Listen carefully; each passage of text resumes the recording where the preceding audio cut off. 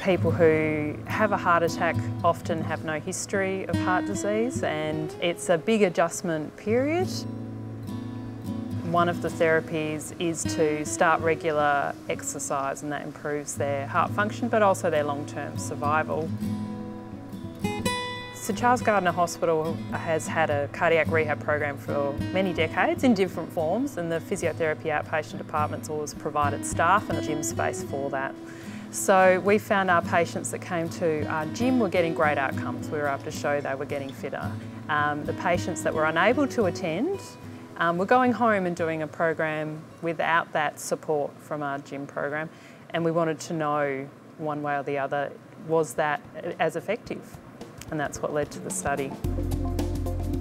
Sometimes the people that went on a home program, um, the barriers that stopped them exercising before their heart attack were still there. So long work hours, um, other commitments, and although they intended to change those things, once they'd had the assessment, given the program, went off for eight weeks by themselves, they didn't have the necessary tools or support to uh, actually implement and, and start actions that were different to, to those that they were used to.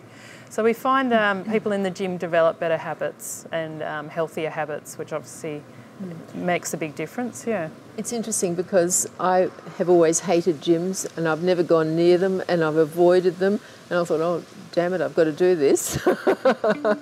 and I've got used to the machine, so I feel comfortable with it. What I like about it is it gives me a routine that I have to be here Tuesday morning, Thursday morning, and I do it as regularly as I can. And it's the company of other people doing the same thing as well. It's not going off on your own and doing it.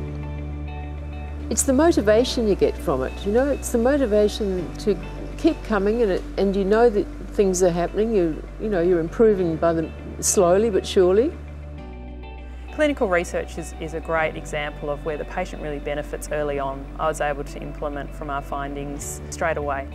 Those sorts of issues need to be made aware to the broader community so that you know when you have a heart attack you're getting evidence-based treatment and that the evidence has been sought by the clinicians in a lot of cases and not just in a lab somewhere in another country. So from Anne-Marie's experience, she's been able to feel the benefits of the gym program and we know that we're able to explain to not just Anne-Marie but our other patients it's hugely beneficial and without the um, Charlie's Foundation for Research a lot of this clinical work might not happen.